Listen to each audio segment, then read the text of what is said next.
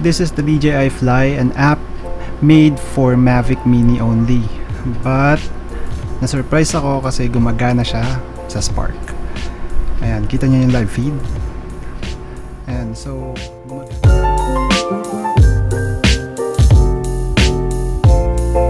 gumagana rin syempre yung manual mode while on video.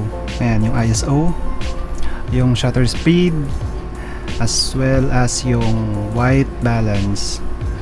Okay? And ito yung switch mode ng auto and manual. There you go. May auto exposure. Lock din siya. And unlock, of course.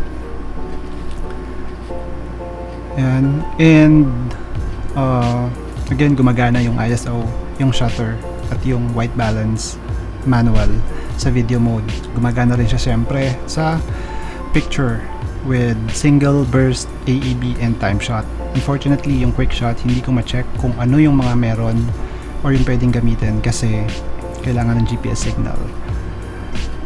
And shutter speed ISO is working good as well while on photo mode as well as yung um, shortcuts or yung actions na tilt gimbal down and tilt gimbal up by just pressing and hold the screen.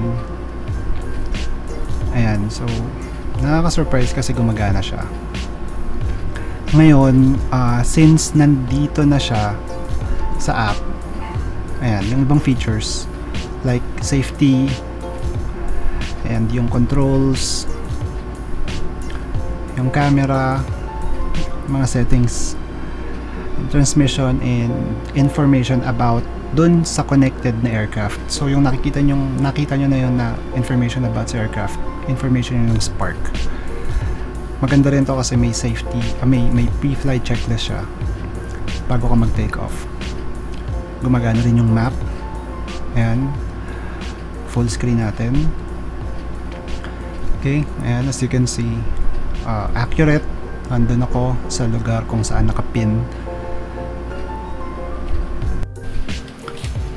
since walang front sensor si Mavic Mini malabo siyang magkaroon ng mga intelligent flight modes na meron ang Spark at ang ibang DJI drones.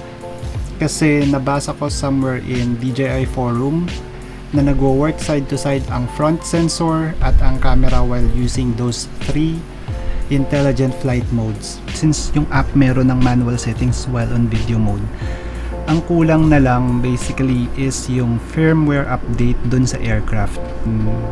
Uh, about a couple of weeks or months. Baka maglabas ng firmware update si DJI para malagyan ng ng uh, manual settings si Mavic Mini while on uh, video mode.